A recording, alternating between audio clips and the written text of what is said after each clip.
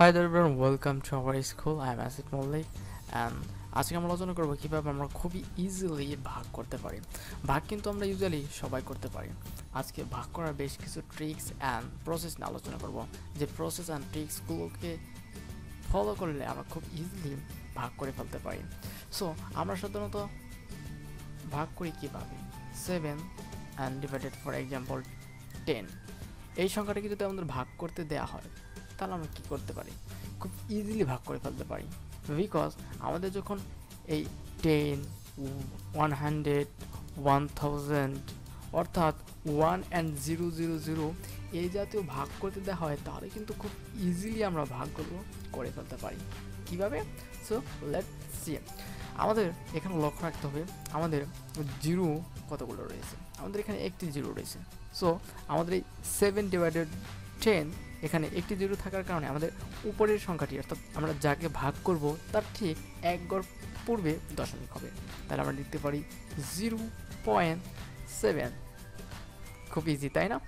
And আমরা ঠিক আরও বেশ কিছু উদাহরণ লক্ষ্য করতে পারি। For example twenty five and then divided আমরা লিখতে পারি ওয়ান হান্ড্রেড তাহলে এটা কীভাবে থিঙ্ক করা যায়? এই জিনিসটা খুব ইজি আমরা আই হোপ অনেকেই আমরা গেস করে ফেলতেছি এখানে কি হতে যাচ্ছে। সো এখানে কি হবে মূলত?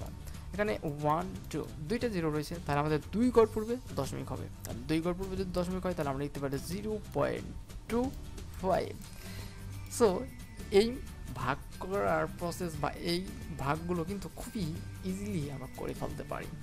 সো সব ভাগগুলো যদি এইরকম হতো, তাহলে কেমন হতো? আমাদের সামনে তার সব ভাগগুলো এমন হবে না? ওয়ান টেন হান্ড্রেড বা ওয়ান থাউজেন্ড এই ওয়ান আর জিরো তো আর সবসময় আমাদের ভাগ থাকবে না। আমাদের ভাগ থাকতে পারে কেমন? ভাগ থাকতে পারে সেভেন ডিভাইডেড ফাইভ দেন আমরা কীভাবে খুব ইজিলি ভাগটা করে ফেলতে পারি? সো এটা ইজিলি ভাগটা করার জন্য আমাদেরকে বেসিক্যালি যে বিষয়টা মনে রাখতে হবে, তা হচ্ছে আমাদেরকে লভ অ্যান্ড হর লভ অ্যান্ড হরকে এমন কিছু সংখ্যা দিয়ে গুণ করতে হবে যাতে করে আমাদের হরে আমরা হান্ড্রেড টেন ওয়ান থাউজেন্ড এরকম সংখ্যা পাই। তবে একটা জিনিস মনে রাখতে হবে, আমরা যে সংখ্যাটি দ্বারা হরকে মাল্টিপ্লাই করব, ঠিক একই রকম সংখ্যা দিয়ে আমরা লভকে মাল্টিপ্লাই করব। সো আমরা দেখিনি ফাইভকে যদি আমরা থিঙ্ক অ্যাবাউট আমরা কী দিয়ে মাল্টিপ্লাই করতে পারি? ফাইভ ইন্টু টোয়েন্টি তাহলে আমরা কী পাবো?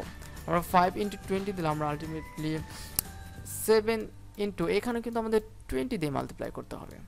সো এখানে আমরা কি পাচ্ছি? এখানে কিন্তু আমরা পাচ্ছি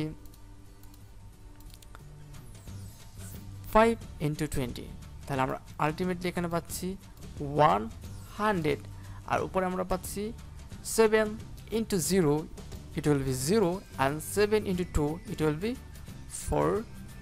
fourteen so এখন কিন্তু আমাদের কাছে ভাগ করার বিষয়টা খুবই ইজি হয়ে গেল।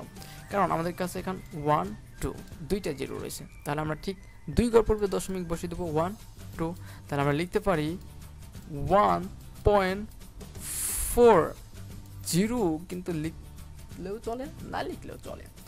ঠিক একই রকমভাবে থিঙ্ক অ্যাবাউট আমরা চিন্তা করতে পারি for example seven twenty five তাই না? সেভেন অ্যান্ড টোয়েন্টি ফাইভ তাহলে এইটাকে আমরা কীভাবে আমরা মাল্টিপ্লাই করব? কী দিয়ে? আমাদের মনে রাখতে হবে টোয়েন্টি ফাইভ এইটাকে এমন একটা সংখ্যাতে মাল্টিপ্লাই করতে হবে যাতে আমাদের নিচের সংখ্যাটিতে হান্ড্রেড আসে। তাহলে আমরা কি যদি টোয়েন্টি ফাইভটিকে ফোর দিয়ে মাল্টিপ্লাই করি, তাহলে কিন্তু আমরা আলটিমেটলি হান্ড্রেড পেয়ে যাচ্ছি। টোয়েন্টি ফাইভ ইন্টু ফোর ঠিক একই রকমভাবে আমরা সেভেন ইন্টু ফোর দিয়ে দিলাম। অ্যান্ড দেন আমাদের সেভেন ইন্টু ফোর আমরা টোয়েন্টি এইট পেয়ে গেলাম অ্যান্ড এইখানে আমরা আলটিমেটলি পেয়ে যাচ্ছি ওয়ান হান্ড্রেড সো এখন আমাদের কি হবে বা কি করতে হবে? এখন আমাদের ঠিক সিম্পলি দুইটা জিরো, তাহলে ওয়ান অ্যান্ড টু তাহলে আমরা লিখতে পারি কি? দুই গড় পূর্বে দশমিক, তাহলে zero point two eight it's very very easy so first কনসেপ্টটি হচ্ছে আমাদেরকে প্রথমেই আমাদের নিচের হরটিকে এমন একটি সংখ্যাতে মাল্টিপ্লাই করতে হবে যাতে করে আমাদের নিচের হরটি hundred ten one thousand one zero এরকম সংখ্যা পাওয়া যায়।